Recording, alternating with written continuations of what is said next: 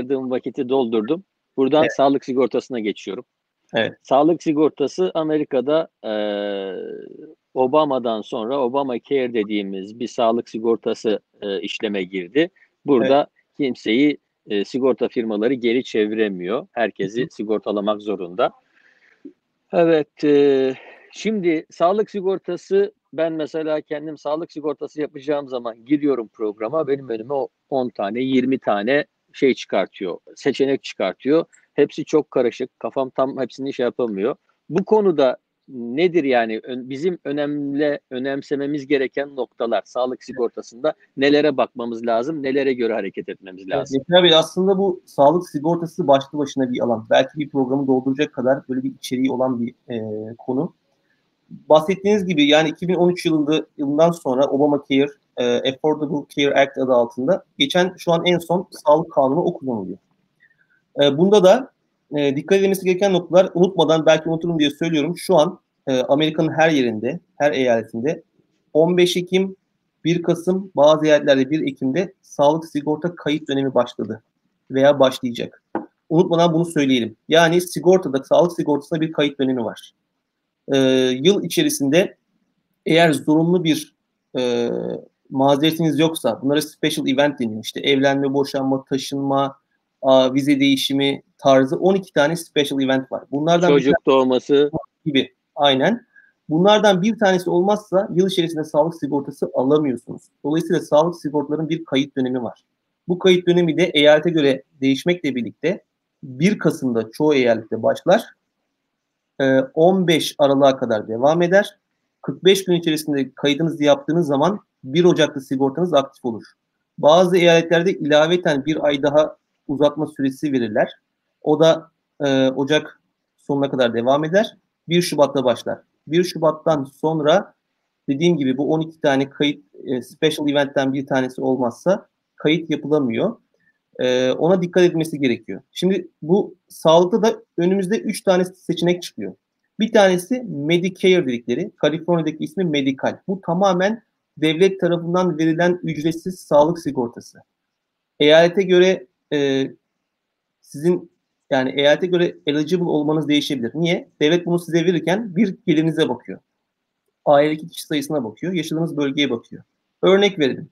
Kaliforniya'da 4 kişilik bir ailenin yıllık geliri 29 bin doların altındaysa bu aile, 4 kişilik aile bu medikal, Medicaid'den yararlanabiliyor. Devlet tamamen ücretsiz sağlık sigortası veriyor. Vergisi verilir income'ınız. Kaliforniya'da 29 binken Amerika'nın orta ufak bir eyaletinde bu limit daha aşağı düşebilir. 20 bine, 15 bine vesaire. Bir, e, sağlık sigortası ihtiyacı olan insanlar vizesine göre burada bir oturumu varsa e, Amerika'da e, ve geliri düşükse o eyaletin gelir seviyesi, o e, limiti, Medi Medicaid limiti neyse onu da öğrenerek e, ona başvurabilir. Tamamen ücretsiz alır sağlık sigortasını. Bunda kayıt dönemi yok Yaşar Bey. Önemli. Medicaid'de yıl içerisinde başvuru yapabiliyorsunuz. E, bunun bir üstü eğer baktınız ona e, eligible değilsiniz. Orta seviyede bir ailesiniz. İşte 50-60 bin dolar geliriniz var. 4 kişilik bir ailesiniz. Onu da işte bu Obamacare'e giriyorsunuz. Ee, Obamacare genel ismi. Eyalete göre farklı isimleri var. Kaliforniya'daki Covered California. İşte Health e, Healthcare Gov vesaire galiba. Healthcare.gov bazı eyaletlerde web sitesi.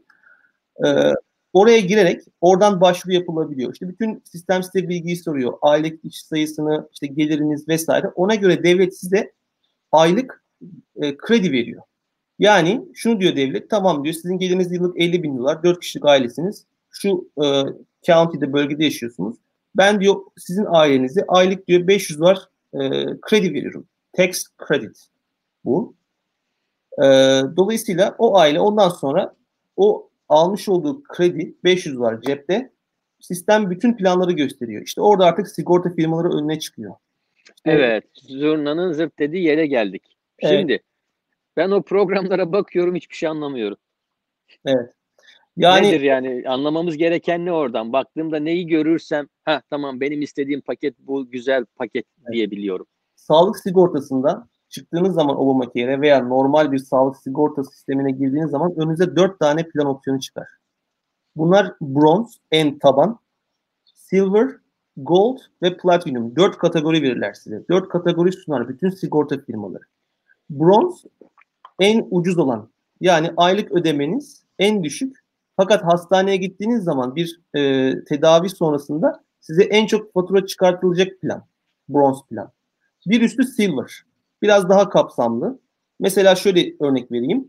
Bronz planınız varsa aylık ödemeniz belki 100 dolardır devletin vermiş olduğu krediden sonra. Ama doktora gittiğiniz zaman sadece doktor görmeye 65 dolar muayene ücreti verirsiniz. Silver planınız varsa aylık ödemeniz belki 150 dolara çıkar. %50 150'ye çıkar. Ama doktora gittiğiniz zaman 40 dolar verirsiniz.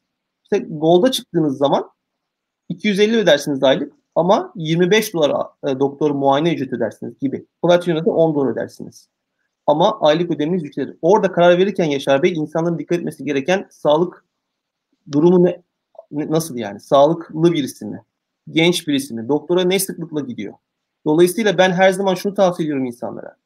Eğer gençsiniz, eğer çok sağlık probleminiz yoksa, çok sık doktora gitmiyorsanız en azından bronz planı tercih edebilirsiniz. Niye?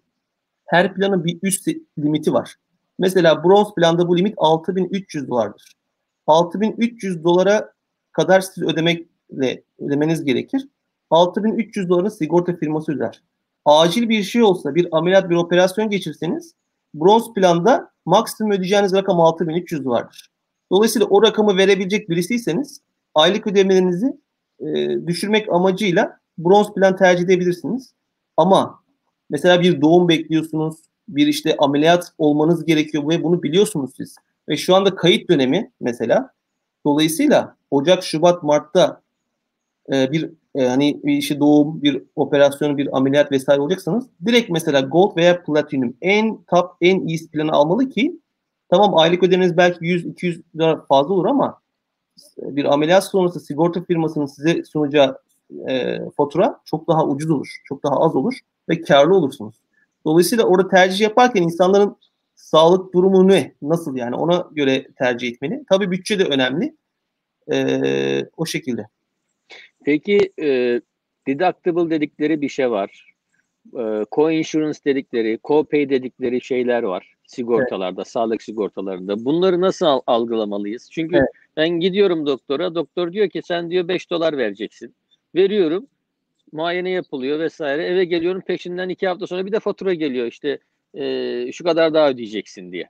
Evet. Yani ödüyoruz, sıkıntı yok da ama niye ödüyoruz? Nedir bunlar? Şimdi bir, e, tam tabir yani oluyor mu bilmiyorum. Bir ayakta tedavi, işte bir de yatarak tedavi yani Türkiye'de öyle e, termler var. Burada mesela deductible olayı sağlık sigortasında e, yatılı bir operasyon geçirirseniz aslında devreye giriyor. Veya bir acilden girdiniz, müdahale ettiler size, acilde biraz kaldınız gibi. Ama ayakta tedavi kısmı mesela e, işte gripsiniz bir doktor görmeniz gerekiyor. Randevu alıyorsunuz doktorunuzdan gidiyorsunuz copay dedikleri muayene ücretidir copay.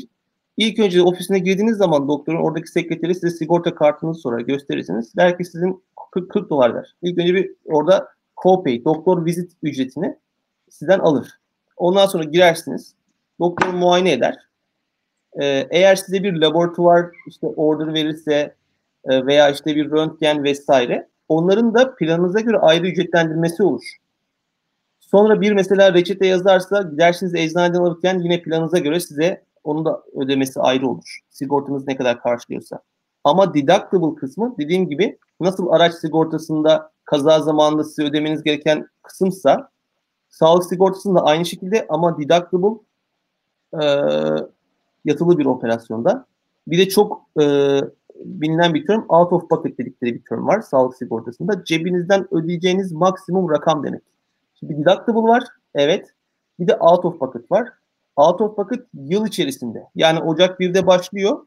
Aralık 31'e kadar yıl içerisinde belki 5 defa bir operasyon geçiriyor olabilirsiniz.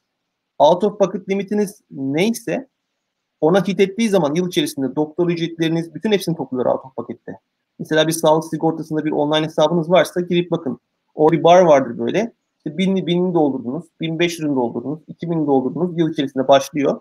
cebinizden çıkan bütün e, şeyleri sayıyorlar. O sisteme giriyor. Doktor ücretleri dahil yani vizit ücretleri dahil.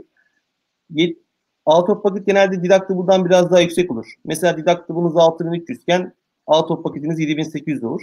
7800 hit ettikten sonra bir daha hiçbir şey ödemiyorsunuz. Doktora gittiğiniz zaman bir şey ödemiyorsunuz. Tamamen sağlık sigortanız ücretsiz dönüyor. Çünkü siz cebinizden ödeyeceğiniz bütün rakamı ödemişsiniz zaten. Belki siz bunu Ocak'ta başladı sigortanız. Mart, Nisan, Mayıs'ta bitirdiniz. Bir daha ondan sonra yılın yarısını ücretsiz e, devam ediyorsunuz. Yani diyorsunuz ki Ocak, Şubat, Mart'ta kış zamanlarında hasta olun. Ödenmesi gerekenleri ödeyin. Ondan sonra Nisan, Mayıs'tan sonra aralığa kadar istediğiniz kadar doktora gidin, evet. istediğiniz kadar hastaneye gidin. Out evet. of pocket dediğimiz cebimizden çıkan rakamı doldurduğumuz müddetçe hiçbir şekilde ekstra bir para daha ödemiyoruz. Evet. Aynen öyle.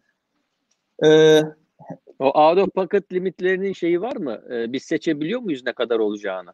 Tabii ki. Dolayısıyla mesela bronze planda out of pocket en yüksek. 7800'dür genelde. Silver'a çıktığınız zaman out of pocket 6000'lere düşer. Ee, işte gold'a çıktığınız zaman biraz daha düşer. Dolayısıyla bu bronze, silver, gold, platinum planınızı yükselttikçe bütün bu deductible'lar, out of pocket'ler, co-pay'ler, e, laboratuvar test vesaire ücretleri hep böyle düşer. Az ödersiniz. Peki. Ben istiyorum ki e, yolda yürürken başım ağrıdı. Başım ağrırken hemen 100 metre ileride bir tane doktor o muayenehanesi gördüm. İçeri girip muayene olmak istiyorum. Böyle bir şey yapabiliyor muyum? Eğer urgent care ise, şimdi urgent care'ler var. Yine Türkiye tabiri poliklinikler. Onlara Hı-hı. evet walking gün içerisinde bunlar sabah 8 akşam 9 genelde veya 12 saat çalışırlar. Gördünüz urgent care'lere gidebilirsiniz. Randevusuz. Ama e, bir doktor ofisi mesela her doktorların bir muayenehanesi olabiliyor. Girdiğiniz zaman evet sizi reddedemezler ama doktorun önceden randevuları vardır. Yani şu an doktorumuz müsait değil diyerek sizi reddedebilirler. Ama doktor... Ondan ziyade ondan ziyade hani evet doktorla randevusuz şey değil de benim daha çok e, gelmek istediğim nokta e, ne diyorlar ona? In circle mı diyorlar? E, in şeydeki In network. In, in network olayı nedir? Out of network evet. olayı nedir? Ona gelmek istedim ben Aynen. aslında. Şimdi sağlık sigortalarında sigorta firmasının anlaşmalı olduğu doktorlar, hastaneler, sağlık merkezleri vardır. Bunlara in network der sigorta firması. Dolayısıyla sizin bu in network yani anlaşmalı olduğunuz doktorlardan, hastanelerden servis almasını ister sigorta firmaları. Çünkü onunla anlaşmalıdır. Dolayısıyla siz onlara giderseniz, onlardan servis alırsanız sigortanız neyse onu karşılar. Fakat siz mesela benim e, gibi yolda giderken bir doktora girdiniz out of network çıktı. Aynen out of network olursa sigorta firmasının karşılamadığı bir doktor veya bir hastane veya bir yerse orası sigortanız orayı çok limitli öder. Poliçeniz, poliçenize firmanıza göre değişir. Ya da hiç ödemez. Çok sık sorulan bir soru. Kaliforniya'dasınız. Ailenizde seyahat ediyorsunuz. Gittiniz evet. New York'a. Evet. New York'ta evet. New York'ta e, geziyorsunuz, tozuyorsunuz. Tak orada başınıza bir şey geldi. Acilen doktora gitmeniz gerekiyor. En yakın sağlık aciline gide, merkezine gidebilirsiniz. Hiç problem değil. Urgent care'e gidebilirsiniz. Hastanenin emergency'sine gidebilirsiniz. Ama durumunuz acilse. Sigorta firmanız Kaliforniya'da, Los Angeles'ta A sigorta firması oradakini Kaliforniya'da başınıza gelmiş gibi öder. Çünkü emergency bu ayrı bir durum. Farklı eyalette olsa, farklı şehirde olsa sigorta planınızın içeriğindeki urgent care veya emergency e, coverage neyse aynı şekilde orada ondan yararlanabilirsiniz. Ama benim bir başım ağrıyor. Bir hafta New York'tasınız ailenizle. Ya ben burada bir doktor göreyim, bir randevu alayım veya işte derseniz o zaman out of e, network'a gider. Dolayısıyla sigorta firması orada ödemez. E, dolayısıyla yine sık sorulardan sorulan bir tanesi taşınıyor insanlar. Bir yerden bir yer taşınıyorlar. Gittikleri zaman 60 gün içerisinde kanun bu. Bulunmuş oldukları eyaletin sağlık sigorta sistemine kayıt olmaları gerekir. 60 günü geçirmemeleri gerekir. 60 gün içerisinde tamam yine acil vesaire e, olursa hani ihtiyaçları e, onları karşılayabilirler. Ama ona dikkat etmeleri gerekiyor. Bazı insanlar bu 60 günü geçiriyorlar. sigortaları devam benim sigortam var diyor vesaire hani e, devam ediyor kullanmaya sıkıntı olabiliyor. Başına gelenler oldu yani. Evet. Peki burada hani New York'tan Los Angeles'a Kaliforniya'dan New York'a taşınma veya seyahat etme olayı bana bir şey hatırlattı, soru hatırlattı. Onu da sorayım. Ondan sonra bir sonraki sigorta bölümüne geçeceğim. Ee, seyahat sigortası. Seyahat sigortası sağlık sigortasını kapsıyor. Sağlık yani 1 milyon dolara kadar vesaire kapsıyor. Bu konuda hani çok detaylı bilginiz var mı yok mu bilmiyorum ama seyahat sigortası yaparken e, özellikle uluslararası seyahatlerde çok işe yarıyor. Ben şahsen kendi yaşadım. E, uçakta rahatsızlandım. Seyahat sigortam vardı. E, pat diye hemen şey yaptılar. E, uçaktan inanılmaz hastaneye gittik. Apandis, e, apandisit, tabii apandisit problemi vardı. Ameliyat ettiler falan. 50 bin dolarlık fatura geldi. Hepsi, pardon. 30 küsürden yukarıdaydı. Tam olarak bilmiyorum ama hepsini seyahat sigortası karşıladı. Evet. Ee, bu bununla ilgili ne yapmak lazım? Amerika içinde seyahat sigortası yapabiliyor muyuz? Evet. Şöyle seyahat sigortası e, ben yapıyorum seyahat sigortasını ama şimdiye kadar hep böyle uluslararası e, seyahat edenler için e, yaptım. Amerika içerisinde e, yanlış bilgi vermeyeyim. Tahmini olarak söylüyorum bunu. Olmaz. Seyahat evet. sigortası e, yani bir ülkenin içerisinde o zaman herkes yaptırır. Çünkü seyahat sigortası çok ucuz Yaşar Bey. 20-25 dolar alabiliyorsunuz. Evet evet evet çok yani, ucuz biliyorum. Yani genelde mesela buradan Avrupa'ya giden e, işte mesela Avrupa Birliği bir ülkesine vize alacaksınız. Vize alırken sizden seyahat sigortası istiyorlar. 1 milyon dolarlık mesela işte buradan Almanya'ya gideceksiniz. Doğru. Ya alıyorsunuz. Çok tavsiye ediyorum mutlaka insanlar bunu değerlendirmeli. Uluslararası e, seyahatlerde çok işe yarıyor. 25-30 dolar alıyorsunuz. 15 gün 2 hafta bir yurt dışında seyahatiniz varsa 1 milyon dolara kadar başınıza bir şey gelse kullanabiliyorsunuz sigortanızı ama Amerika içerisinde hiç duymadım net konuşmayayım. Tahmini söylüyorum bunu. Mümkün olmasa gerek. Çünkü e, çok ucuz bir sigorta yani seyahat sigortası. Peki. Hemen bir soru. Daha doğrusu bir e, yorum. En önemli problem diş sigortası. Diş sigortası hakkında ne yapmamız lazım? Diş sigortası e, aynen öyle. Yani e, sağlık sigortasından çok çok daha kötü. Kapsam olarak diş sigortaları çok limitli. Diş sigortaları çok ucuz oluyor aylık 40 dolar, 30 dolar, 50 dolar diş sigortası alabiliyorsunuz. Fakat diş sigortalarında dikkat edilmesi gereken en en önemli e, nokta bu waiting period dedikleri bir şey var diş sigortasında. Yani bekleme süresi. Bir sigorta alıyorsunuz, kayıt dönemi yok. Diş sigortasını istediğiniz zaman alabiliyorsunuz. Fakat çoğu diş sigorta firması sigortanızı 3 ay, 6 ay, 9 aydan sonra başlatıyor. Yani siz aylık ödemelerinize başlıyorsunuz. Fakat sigortanız asıl karşılamasını işte 3 ay, 6 ay, 9 aydan sonra eğer bir major kanal tedavisi, işte diş çekimi tarzı böyle gerçekten bir şey ihtiyacınız varsa gidiyorsunuz sigortanız ödemiyor. Çünkü sigorta poliçenizin bir waiting periyodu var. Diş sigortası alırken insanlar ona dikkat etmeli. Ufacık yazar altta böyle. Waiting period 3 ay, 6 ay, 9 ay. Dolayısıyla bunu diş sigortasını bilen birisiyle alabilirsiniz veya almadan önce eğer bir o poliçenin bir waiting periyodu var mı ona dikkat edilmesi gerekir. Sigortanız başlar diş sigortası. Yıl içerisinde her yani %90 diyebilirim bütün sigorta firmaları ücretsiz check-up yılda bir veya iki defa diş temizleme bir veya iki defa ücretsiz sunar. Bunda waiting period yok. Hemen sigortanızı alırsınız yararlanabilirsiniz. Peki, peki bu waiting period bekleme süresi her sene sıfırlanır mı?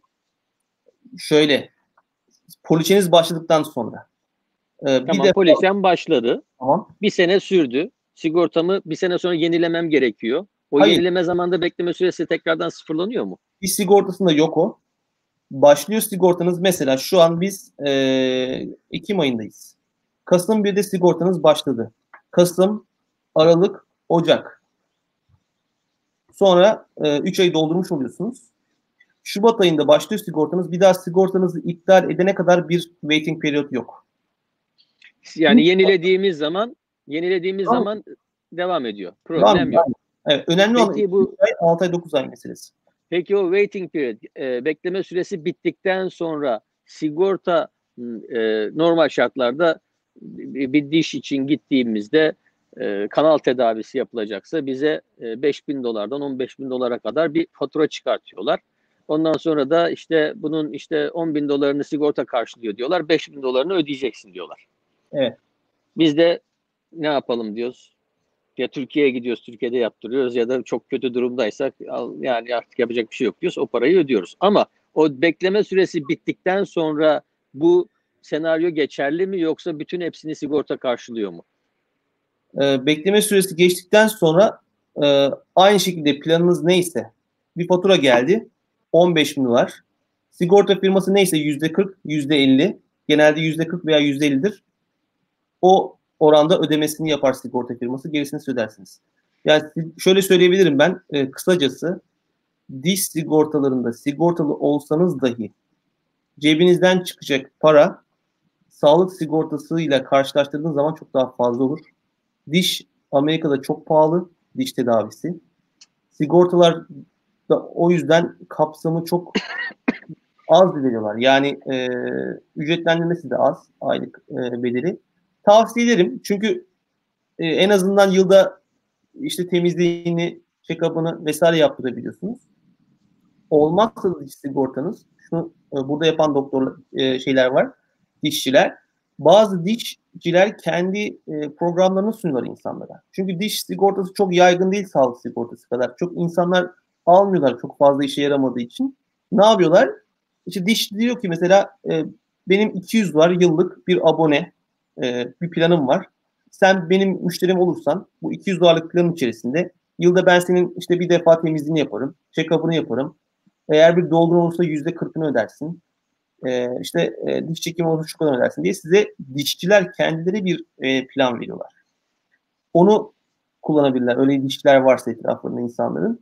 Ya da e, çoğu dişçi diş sigortası olmayan çok insanla da muhatap olduğu için kendileri de biraz sistemi biliyorlar. Ben dişçilerle de çok konuşum aslında. Ben sigortacıyım yani insanlara hani neyi sunabilirim, neyi tavsiye edersiniz diye. Diş, kaç farklı dişçiden de bu şeyi aldım yani. Çok fazla e, işe yaramadın açıkçası hani diş sigortanın. E, hani anlaşma yoluna veya indirim talep edebilirler. Taksit talep edebilirler. Dişçiler buna çok açık yani. Çünkü çok fazla diş sigortası olmayan insanla hani müşteriler oluyor. E, tedavi eden insanlar oluyor. Ama e, işveren tarafından sigorta aldıysanız orası farklı. Mesela bir mühendissiniz. Bir firmada çalışıyorsunuz. O firma size sağlık, diş, işte e, sakatlık, disability, işte hayat sigortası bir paket veriyor. Ve içeriği de güzel oluyor. Onlar biraz daha farklı. Çünkü o diş sigortaları yani mesela bir şirketin 200 tane çalışanı var. 200 tane çalışanı sigortalıyor sadece bir firmadan. O tarz çalışan mesela sigorta firmaları var. O planların kapsamı biraz daha farklı. Ama siz bu individual and family dedikleri şahsi, self-employed'siniz. Hiç kendi iş, işletmeniz var veya çalışmıyorsunuz. Siz özel bir sigorta almak istiyorsunuz. Kendiniz şahsi olarak e, diş sigortası aldığınız zaman veya sağlık sigortası kapsamı diğerine göre daha az oluyor. Mesela sağlıkta bile bu fark var. Bazı tedavileri çok 2-3 tane söyleyebilirim. Ee, mesela işte e, e, yani birkaç bir şey var. İsmini hatırlayamadım şimdi. Eğer çalışan tarafından verilen sigortaysa o karşılıyor. Aynı sigorta firması. Ama siz şahsi özel olarak aldıysanız sigorta firmasından karşılamıyor gibi. Dolayısıyla eğer işveren tarafından verilen bir sigortaysa o diş sigortası e, veya sağlık sigortası kapsam olarak daha iyi olabilir. Evet. Şimdi fark ettim de çok az kişi beğenmiş ve paylaşmış videoyu. Seyreden arkadaşlar beğenin, paylaşın. İnsanlar faydalansın. Pazar sabahı evet. acaba? Gerçi e, yok öyle. Olamaz. Yok arkadaşlar çok e, içten bir şekilde gerçekten paylaşıp beğenilerini yapıyorlar. Evet. E, ama e, onlardan da çok teşekkür ediyorum onlara da.